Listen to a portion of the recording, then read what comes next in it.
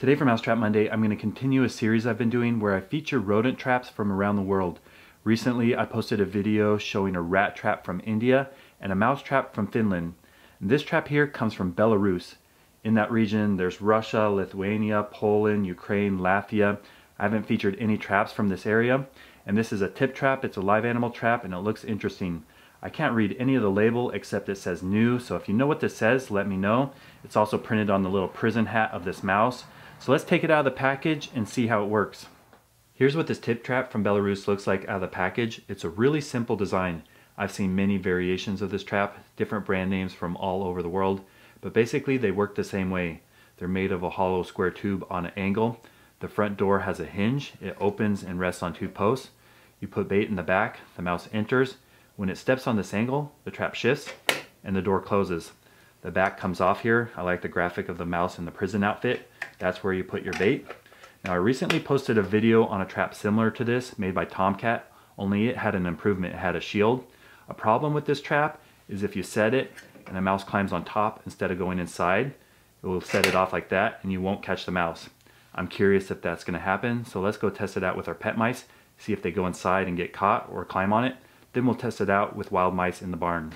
For this test, we'll use our white pet mouse. Viewers named her Snow White.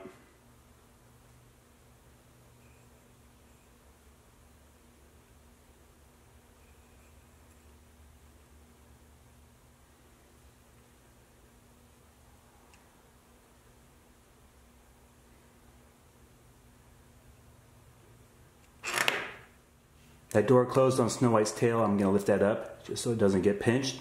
It seemed to work. She went in there and got caught. Ooh, she's pooping quite a bit. Let's go set this up in the barn with motion cameras, see if we get the same results with our wild mice.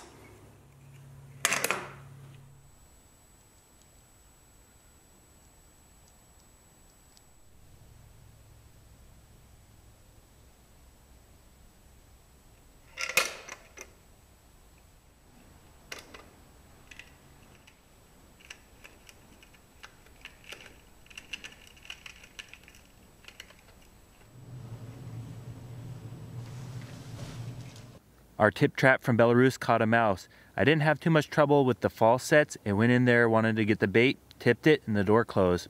Since this is a live catch trap, let's let him go. Just lift up the door.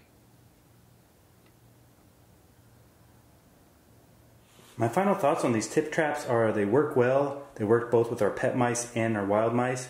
The biggest concern is mice will climb on top of the trap, set it off without it getting the mouse. Now a solution is to get the Tomcat brand version of this because it's covered. The mouse can't go up there. When it steps on this, it's solid, it won't tip it. it has to go inside, then it will close. So basically the same trap, only a huge improvement with the Tomcat version.